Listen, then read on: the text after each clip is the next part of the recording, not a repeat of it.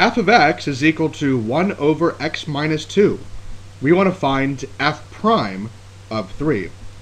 Now here we have some new notation. What does f prime of 3 mean? Well, it means we want to find the derivative of f. That's what f prime is. f prime is the derivative of f at x equals 3. Well, the first thing to do is to find the derivative of f. And to find the derivative of f, we have to use the limit notation. So we have the definition of the derivative here which says that we first have to plug x plus h into f. Well, we have 1 over stuff minus 2. That means we're going to have 1 over stuff minus 2 minus the function, which is 1 over x minus 2, and all over h. Well, this is pretty nasty.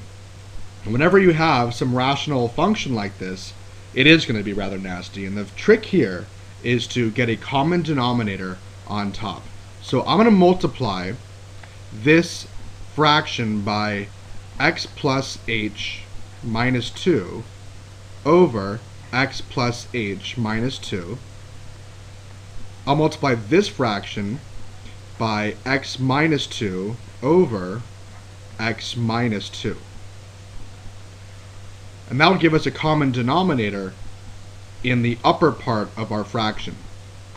So here we have, this is the limit as h approaches 0 of x minus 2 over x plus h minus 2 times x minus 2 minus x plus h minus 2 over x plus h minus 2 times x minus 2 and this is all over h. Well, now I can subtract my fractions and in doing so I have to remember to distribute this negative to the entire numerator of my second fraction. That's extremely important and many people often mistake that. So here we have the limit as h approaches 0.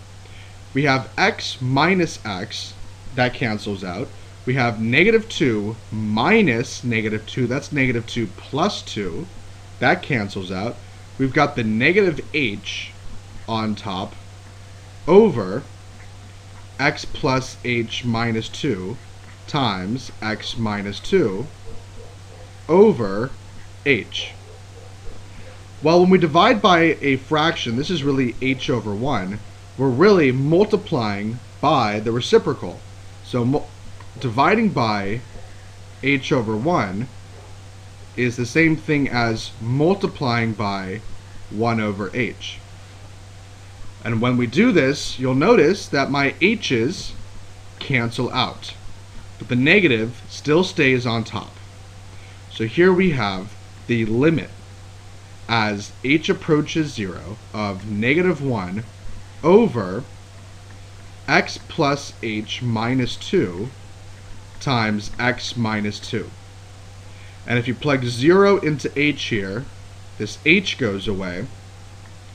And now, this is equal to negative 1 over x minus 2 times x minus 2 which can be simplified as negative 1 over x minus 2 squared. And that is f prime of x, the derivative of f. Now, we are asked to find f prime of 3, which is the same thing as saying the slope of the tangent line to f at x equals 3.